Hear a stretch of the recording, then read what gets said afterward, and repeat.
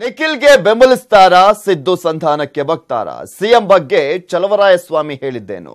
ದಿನ ದಿನಕ್ಕೂ ರೋಚಕ ಮಂಡ್ಯ ಕದನ ಕಣ.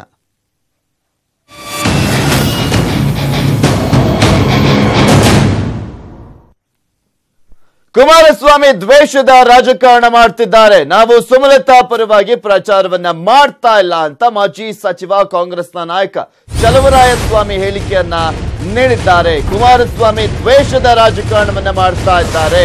ನಾವಂತೂ ಸುಮಲತಾ ಅಂಬರೀಶ್ ಅವರ ಪರವಾಗಿ ಪ್ರಚಾರವನ್ನ ಮಾಡ್ತಾ ಇಲ್ಲ ಅಂತ ಮಾಜಿ ಸಚಿವ ಕಾಂಗ್ರೆಸ್ನ ನಾಯಕ ಚಲವರಾಯಸ್ವಾಮಿ ಹೇಳಿಕೆಯನ್ನ ನೀಡಿದ್ದಾರೆ. ನಿಖಿಲ್ ಹೆಸರು ಘೋಷಣೆಗೂ ಮುನ್ನ ನಮ್ಮನ್ನಂತೂ ಕೇಳಿಲ್ಲ ಅವರು.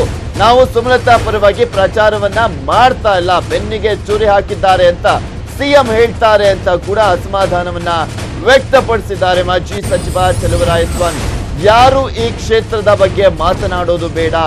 ಜಿಲ್ಲೆಯ ಜನ ಎಲ್ಲವನ್ನೂ ಕೂಡ ತೀರ್ಮಾನ ಮಾಡ್ತಾರೆ. ಜನರ ತೀರ್ಮಾನಕ್ಕೆ ಈ ಫಲಿತಾಂಶವನ್ನ ಬಿಡೋಣ ಅಂತ ಕೂಡ ಚಲುವರಾಯಸ್ವಾಮಿ ಅವರು ಪ್ರತಿಕ್ರಿಯೆಯನ್ನ ನೀಡಿದ್ದಾರೆ. ಮಂಡ್ಯ ಚುನಾವಣೆಯ ವಿಚಾರಕ್ಕೆ ಸಂಬಂಧಪಟ್ಟಂತೆ ಚಲುವರಾಯಸ್ವಾಮಿ ಅವರು ಮಾತನಾಡಿದ್ದಾರೆ. ಇವತ್ತಿಗೆ ನಾವು ದೇಶದ ರಾಜಕಾರಣನ ಅಥವಾ ವೈಯಕ್ತಿಕವಾದಂತ ಇದನ್ನ ಬಿಡಬೇಕು ಅಂತೇಳಿ ಕ್ಲೋಸ್ ಮಾಡ್ಕೊಂಡು ಒಂದು ಸ್ಟೇಟ್ಮೆಂಟ್ ಮಾಡಿ ಮುಖ್ಯಮಂತ್ರಿಗಳು.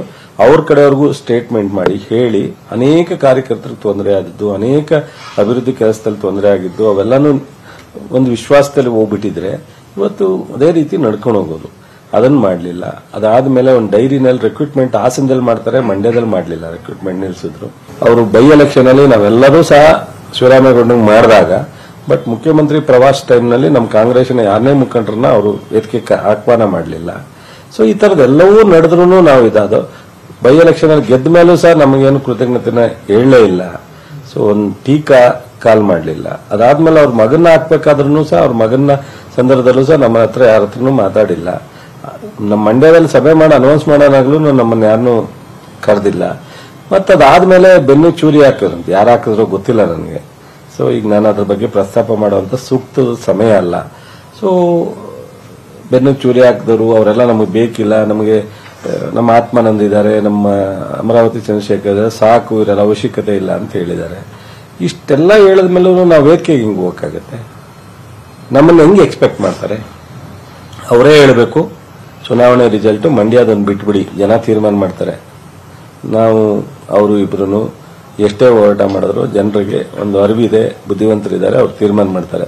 ಉಳಿದಂತೆ ನಿಮ್ಮ ಸಹಕಾರದಿಂದ ನಾನು ಮುಖ್ಯಮಂತ್ರಿ ಆಗಿದ್ದೀನಿ. ಉಳಿದಂತೆ ಎಲ್ಲ ಜಿಲ್ಲೆಗಳಲ್ಲೂ ಮೈತ್ರಿ ಧರ್ಮನ ಅನುಸರಿಸ್ಕೊಂಡು ಮಾಡ್ತಾ ಇದ್ದೀವಿ. ಅದರಂತೆ ಮಾಡ್ಕೊಂಡು ಹೋಗೋಣ. ಈ ಇಶ್ಯೂನ ನಾವು ಕ್ಯಾರಿ ಮಾಡೋದು ಬೇಡ ಅಂತ ಹೇಳ್ಬಿಟ್ಟು ಅವರೇ ತಿಳಿ ಮಾಡಿಬಿಟ್ಟು ಸುಮ್ಮನೆ ಚುನಾವಣೆ ಮಾಡ್ಕೊಂಡು ಹೋಗೋಂತ ಒಳ್ಳೇದು. ನಾವೇನು ಸುಮಲತರ ಬಗ್ಗೆ ಹೋಗಿ ಕ್ಯಾಂಪೇನ್ ಮಾಡಿಲ್ಲ? ಅಥವಾ ಭಾಷಣ ಮಾಡಿಲ್ಲ? ಅಥವಾ ನಾವು ಮತ್ತೆ ಹೇಳಿಕೆ ಕೊಟ್ಟಿಲ್ಲ? ಸೊ ಈಗ ಅವರು ನಮ್ಮನ್ನ ಕರೀದಲೆ, ಹೇಳದಲೆ, ನಮ್ಮನ್ನ ಆಹ್ವಾನ ಮಾಡದಲೆ ನಮ್ಮ ಬಗ್ಗೆನೇ ಅವರು ಬೇಡ ಅಂತಲೇ ಒಂದು ಸಂದೇಶ ಕೊಟ್ಟಿದ್ದಾರೆ. ಬೇಡ ಅಂತಲೇ ಕೊಟ್ಟಿದ್ದಾರೆ. ಈಗ ನಿನ್ನೆ ಮೊನ್ನೆನೂ ಸಹ ಅವ್ರು ಬಹಳ ಮುಂದೆ ಹೋಗ್ಬಿಟ್ಟಿರೋದ್ರಿಂದ ಎಲೆಕ್ಷನ್ ಮಂಡ್ಯದಲ್ಲಿ ಇದ್ರ ಅವಶ್ಯಕತೆ ಇಲ್ಲ ಅನ್ನೋ ತರನೇ ಹೇಳಿದ್ದಾರೆ. ಇವತ್ತಿಗೆ ನಾವು ದೇಶದ ರಾಜಕಾರಣನ ಅಥವಾ ವೈಯಕ್ತಿಕವಾದಂತ ಇದನ್ನ ಬಿಡಬೇಕು ಅಂತೇಳಿ ಕ್ಲೋಸ್ ಮಾಡ್ಕೊಂಡು ಒಂದು ಸ್ಟೇಟ್ಮೆಂಟ್ ಮಾಡಿ ಮುಖ್ಯಮಂತ್ರಿಗಳು.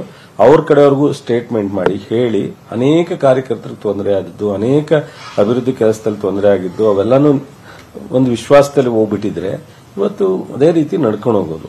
ಅದನ್ನ ಮಾಡಲಿಲ್ಲ. ಅದಾದ್ಮೇಲೆ ಒಂದು ಡೈರಿನಲ್ಲಿ ರಿಕ್ರೂಟ್ಮೆಂಟ್ ಹಾಸನದಲ್ಲಿ ಮಾಡ್ತಾರೆ, ಮಂಡ್ಯದಲ್ಲಿ ಮಾಡಲಿಲ್ಲ ರಿಕ್ರೂಟ್ಮೆಂಟ್ ಸಿಎಂ ಯಾಕೆ ನನ್ನ ಮಾತನಾಡಿಸ್ತಿಲ್ವೋ ಗೊತ್ತಿಲ್ಲ. ಸಿಎಂ ಅವರೇ ಒಂದು ಸಭೆಯನ್ನ ಮಾಡಬಹುದಿತ್ತು ಮಾತನಾಡಬಹುದಿತ್ತು ಆದ್ರೆ ಸಿಎಂ ಈವರೆಗೂ ಯಾರನ್ನೂ ಕೂಡ ಕರೆದು ಸಭೆಯನ್ನ ಮಾಡಿಲ್ಲ ಅಂತ ಚಲವರಾಯಸ್ವಾಮಿ ಅವರು ಮಾತನಾಡಿದ್ದಾರೆ. ಸಿಎಂ ವಿರುದ್ಧ ನಾವು ತೊಡೆ ತಟ್ಟೋದು ಇಲ್ಲ ಅಂತ ಕೂಡ ಮಾತನಾಡಿದ್ದಾರೆ ಚಲವರಾಯಸ್ವಾಮಿ ಅವರು, ಮಾಜಿ ಸಚಿವ, ಕಾಂಗ್ರೆಸ್ನ ನಾಯಕ. ಇಲ್ಲಿ ಸಿಎಂ ಒಂದು ಸಭೆಯನ್ನ ಕರೆದು ನಮ್ಮನ್ನ ಮಾತನಾಡಿಸ್ಬೋದಿತ್ತಲ್ಲ ಅದ್ಯಾವುದನ್ನೂ ಕೂಡ ಮಾತನಾಡಿಲ್ಲ ಇಲ್ಲಿ. ಸಿಎಂ ವಿರುದ್ಧ ನಾವಂತೂ ತೊಡೆಯನ್ನ ತಟ್ಟೋದಿಲ್ಲ. ಸಾರಾ ಮಹೇಶ್ ಪ್ರಚಾರಕ್ಕೆ ಬನ್ನಿ ಅಂತ ಕರೆದ್ರು. ನಮ್ಮಿಂದ ನಿಖಿಲ್ಗೆ ಯಾವುದೇ ರೀತಿಯಾದಂತ ತೊಂದರೆ ಕೂಡ ಆಗ್ತಾ ಇಲ್ಲ ಅಂತ ಮಾತನಾಡಿದ್ದಾರೆ. ದೇವೇಗೌಡರು, ಕುಮಾರಸ್ವಾಮಿ ದೊಡ್ಡವರು ಅವರ ಹೇಳಿಕೆಗೆ ನಾನಂತೂ ಪ್ರತಿಕ್ರಿಯೆ ಕೊಡೋದಿಲ್ಲ ಅಂತ ಚಲುವರಾಯಸ್ವಾಮಿ ಅವರು ಇದೇ ಸಂದರ್ಭದಲ್ಲಿ ಮಾತನಾಡಿದ್ದಾರೆ. ಮಂಡ್ಯದಲ್ಲಿ ಮೈತ್ರಿ ಧರ್ಮವೇ ಸರಿಯಾಗಿ ಆಗಿಲ್ಲ ಅಂತ ಹೇಳಿದ್ದಾರೆ.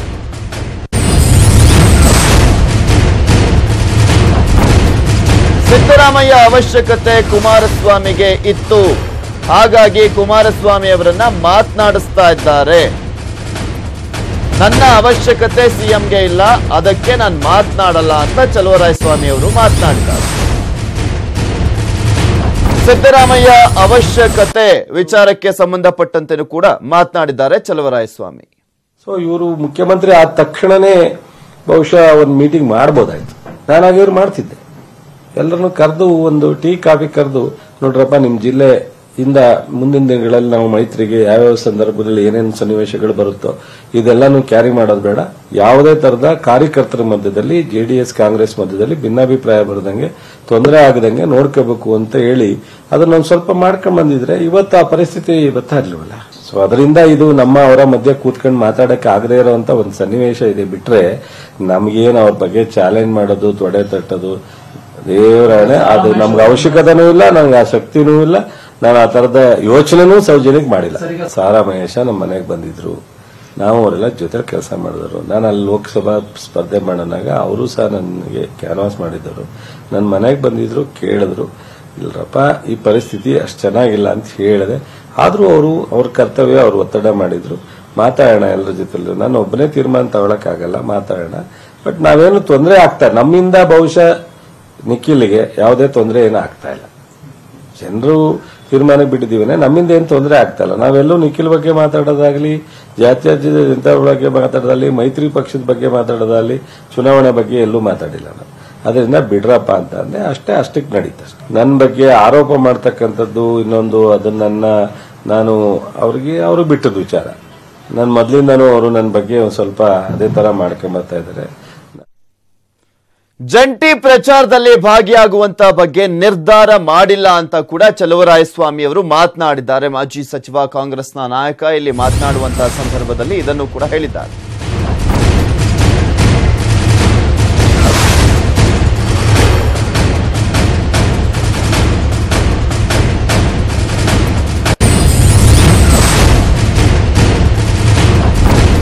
ನಾಳೆ ನಮ್ಮ ನಾಯಕ ಸಿದ್ದರಾಮಯ್ಯ ಸಭೆಯನ್ನ ಕರೆದಿದ್ದಾರೆ. ನಾಳೆಯ ಮೀಟಿಂಗ್ನಲ್ಲಿ ಎಲ್ಲವನ್ನೂ ಕೂಡ ನಾವು ತೀರ್ಮಾನಿಸ್ತೇವೆ ಅಂತ ಕೂಡ ಹೇಳಿದ್ದಾರೆ. ಚಲುವರಾಯಸ್ವಾಮಿ ಮಂಡ್ಯದಲ್ಲಿ ಮಾತನಾಡಿರುವಂಥದ್ದು ನ್ಯೂಸ್ ಏಟೀನ್ ಕನ್ನಡದ ಜೊತೆ ಮಾತನಾಡುವಂತಹ ಸಂದರ್ಭದಲ್ಲಿ ಈ ಹೇಳಿಕೆಗಳನ್ನ ನೀಡಿದ್ದಾರೆ. ನಾಳೆ ನಮ್ಮ ನಾಯಕ ಸಿದ್ದರಾಮಯ್ಯನವರು ಸಭೆಯನ್ನ ಕರೆದಿದ್ದಾರೆ ಅಂತ ಕೂಡ ಹೇಳಿದ್ದಾರೆ. ತಾರೀಕು ಸಭೆ ಇದೆ ಜಾಯಿಂಟ್ ಕಾನ್ಫರೆನ್ಸ್ ದೇವೇಗೌಡರು ಸಿದ್ದರಾಮಯ್ಯನವನ್ನೇ ಬೇಡ ಅಂತ ಹೇಳ್ಬಿಟ್ಟವ್ರಲ್ಲ ಸರ್. ಮೊನ್ನೆ ಕೆ ಆರ್ ಪೇಟೆನಲ್ಲಿ ಇದು ಬಹಳ ಮುಂದೆ ಹೋಗ್ಬಿಟ್ಟಿದೆ. ಸಿದ್ದರಾಮಯ್ಯನವ್ರು ಬಂದರೂ ಉಪಯೋಗ ಆಗಿಲ್ಲ ಇದ್ರ ಅವಶ್ಯಕತೆ ಇಲ್ಲ ಅನ್ನೋ ತರ ಕಾಣುತ್ತೆ ಅಂತ ಸೂಕ್ಷ್ಮವಾಗಿ ಹೇಳಿದ್ದಾರೆ. ಕೈ ಹೋಗ್ತಾ ಇದೆ ಅಂತ ಸೂಕ್ಷ್ಮವಾಗಿ ಹೇಳಿದ್ದಾರೆ. ಬಹುಶಃ ಮಂಡ್ಯ ಜಿಲ್ಲೆ ಒಂದು ವಿಚಾರದಲ್ಲಿ ಬೇಡ ಬಿಡಿ ನಾವೇ ಮಾಡ್ಕೋತೀವಿ ಅನ್ನೋ ತರನು ಬರ್ಬೋದು ಅವತ್ತು. ನೋಡ್ರಿ ನಮ್ಮ ಪಾರ್ಟಿನಲ್ಲಿ ಡಿಸ್ಕಷನ್ ಆಗುತ್ತೆ ಇಲ್ಲ ಅಂತ ಹೇಳಲ್ಲ. ನಮ್ಮ ಪಾರ್ಟಿ ಡಿಸ್ಕಷನ್ನ ಎಷ್ಟರ ಮಟ್ಟಿಗೆ ಏನು ಇವತ್ತಿನ ಸಿಚುಯೇಷನ್ ಅಲ್ಲಿ ಮಂಡ್ಯದಲ್ಲಿ ನಾವು ಮೈತ್ರಿ ಧರ್ಮದ ವಿಚಾರದಲ್ಲಿ ಮಾಡಬೇಕು ಅನ್ನೋದ್ರ ಬಗ್ಗೆ ನಾನು ಅಲ್ಲಿ ಪ್ರಸ್ತಾಪ ಮಾಡ್ತೀವಿ. ಆ ಒಂದು ಡೈರೆಕ್ಷನ್ ನಾವೇನು ಮಾಡಬೇಕು ಫಾಲೋ ಮಾಡೋದಕ್ಕೆ ಸಾಧ್ಯ ಅನ್ನೋದನ್ನು ಮಾಡ್ತೀವಿ.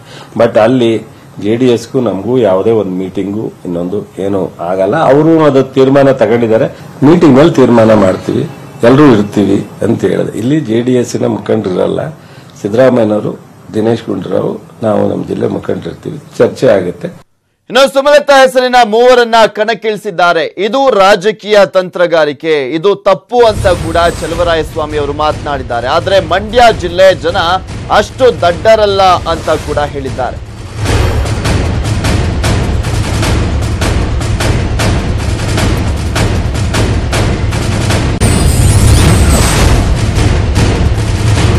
ಎಲ್ಲವನ್ನು ನೋಡಿ ವೋಟ್ ಹಾಕ್ತಾರೆ ಬಿಡಿ.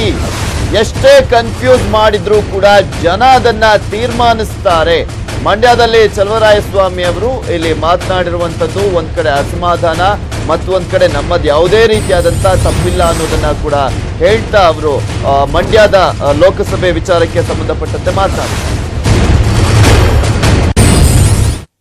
ಜನಕ್ಕೆ ಇವತ್ತು ಬುದ್ಧಿವಂತರಿದ್ದಾರೆ. ಅವರು ಮೇಕಪ್ ಮಾಡೋದ್ರಲ್ಲಿ ಅವ್ರ ತರನೇ ಬಟ್ಟೆ ಹಾಕಿ ಅವ್ರ ತರನೇ ಏರ್ ಸ್ಟೈಲ್ ಮಾಡಿಸಿ ಅವ್ರಿಗೆ ಹೋಲಿಕೆ ಆಗೋ ತರ ಹೊರಗಡೆ ಬಿಟ್ಟಿರೋದನ್ನ ನಾನು ನೋಡಿದ್ದೀನಿ ಬಟ್ ಇದರ ಅವಶ್ಯಕತೆ ಇಲ್ಲ ಅಂತ ಕಾಮೆಂಟ್ಸ್ ಆಗಿದೆ ರಾಜಕೀಯದಲ್ಲಿ. ಜನ ಇನ್ವೆಸ್ಟೆಂಟ್ ಅಂತ ಹೇಳಿರ್ಬೋದೇ ವಿನ ಬುದ್ಧಿವಂತರಲ್ಲ ಅಂತ ಖಂಡಿತ ಜನ ಇದರಿಂದ ಚುನಾವಣೆ ಮೇಲೆ ಪ್ರ- ಪರಿಣಾಮ ಬೀರಲ್ಲ. ಜೆ ಜೆಡಿಎಸ್ನ ನಿಖಿಲ್ನ ಈ ತರ ಸೃಷ್ಟಿ ಮಾಡಿದ್ರು ಬಿಡಲ್ಲ. ಸುಮಲತನ ಬಗ್ಗೆ ಸೃಷ್ಟಿ ಮಾಡಿದ್ರು ಬಿಡಲ್ಲ. ಅವರು ಜೆಡಿಎಸ್ಗೆ ಯಾರು ಹಾಕ್ಬೇಕೋ ಕಾಂಗ್ರೆಸ್ಗೆ ಇದು ಇಂಡಿಪೆಂಡೆಂಟ್ಗೆ ಯಾರಿಗೆ ಹಾಕ್ಬೇಕೋ, ಅವ್ರು ವೋಟ್ ಹಾಕ್ತಾರೆ. ಅದರಲ್ಲಿ ಯಾವುದೇ ಕನ್ಫ್ಯೂಷನ್ಸ್ ಬರಲ್ಲ. ಇದನ್ನ ನಾನ್ ಮಾಡಿದ್ರು ತಪ್ಪು, ಅವ್ರು ಮಾಡಿದ್ರು ತಪ್ಪು. ಆದ್ರೆ ಚುನಾವಣೆ ತಂತ್ರಗಾರಿಕೆ ಅಂದಾಗ ನಾವೇನು ಮಾಡ್ಲಿಕ್ಕೆ? ಜನಕ್ಕೆ